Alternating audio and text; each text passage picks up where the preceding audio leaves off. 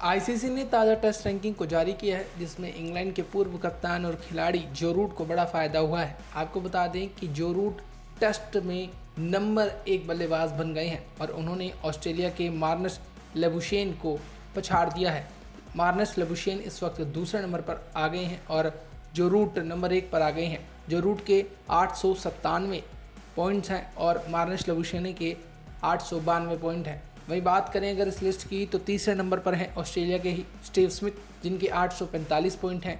इसके अलावा चौथे नंबर पर पाकिस्तान के कप्तान बाबर आज़म 815 अंकों के साथ बने हुए हैं। वहीं पाँचवें नंबर पर हैं न्यूजीलैंड के कप्तान केन विलियमसन।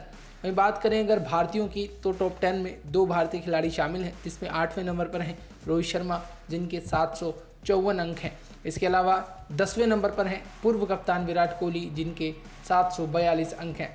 इसके अलावा अगर बात करें जो रूट की तो जो रूट साल 2015 में पहली बार टेस्ट के नंबर एक खिलाड़ी बने थे, इसके बाद साल 2021 दिसंबर के महीने में जो रूट आखिरी बार टेस्ट में नंबर एक खिलाड़ी रहे और एक दिनों तक वह अपने स्थान पर बने रहे। लेकिन इसके बाद स्टीव स्मिथ ने उन्हें पछाड़ा और बाद में मार्नेस लबुशेन ने उन्हें पछाड़ा। बहरहाल बात करें अगर गेंदबाजी की तो गेंदबाजी में रविचंद्र अश्विन दूसरे नंबर पर बने हुए हैं और उनके 850 अंक हैं। इसके अलावा जसप्रीत बुमराह को गेंदबाजी में फ़ायदा हुआ और वह एक अंक ऊपर चढ़कर तीसरे नंबर पर पहुँच गए हैं। जसप्रीत बुमराह के 830 अंक हैं।